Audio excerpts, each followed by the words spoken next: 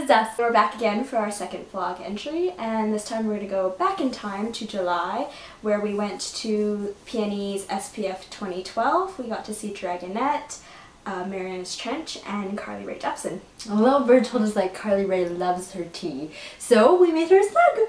And this is what happened.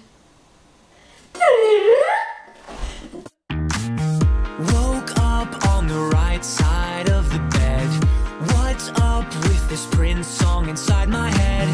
Hands up if you're down to get down tonight. Cause it's always a good time. So, this is what happened. We walked to the security guard and we said, Hi, we're Eleanor and Rain. We said we made her a snug mug and we would like to give it to her because she's a local girl and we're local girls.